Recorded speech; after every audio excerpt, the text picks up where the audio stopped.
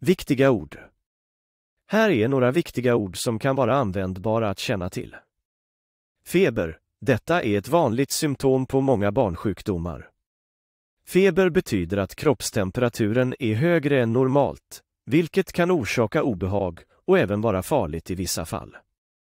Det är viktigt att ha en febertermometer hemma och att känna till vilken temperatur som är farlig för ett barn. Vätskeersättning. När ett barn är sjukt och har diarré eller kräkningar kan de förlora mycket vätska och elektrolyter. Detta kan leda till uttorkning och farliga hälsokomplikationer.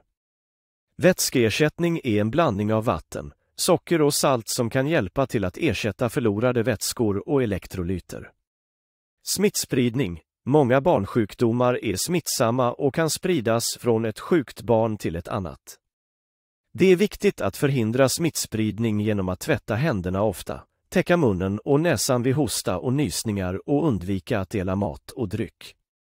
Antibiotika Antibiotika är mediciner som används för att behandla bakterieinfektioner. Det är viktigt att inte ge antibiotika till ett barn om det inte är absolut nödvändigt, eftersom det kan leda till resistens mot antibiotika och andra hälsoproblem. Vaccinationer Vaccinationer är en viktig del av vård och omsorg vid vanligt förekommande barnsjukdomar.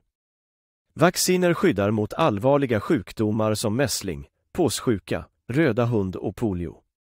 Det är viktigt att hålla sig uppdaterad om vilka vaccinationer som är rekommenderade för barnet.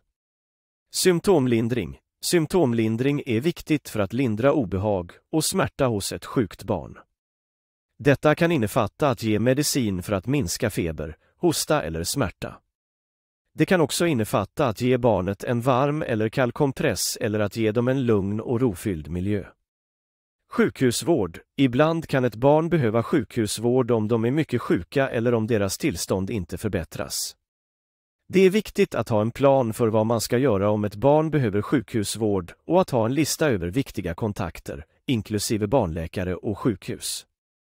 Medicinering. Att ge medicin till ett sjukt barn kan vara nödvändigt för att lindra symptom eller för att behandla sjukdomen direkt. Det är viktigt att följa doseringsinstruktionerna noggrant och att vara medveten om eventuella biverkningar eller kontraindikationer.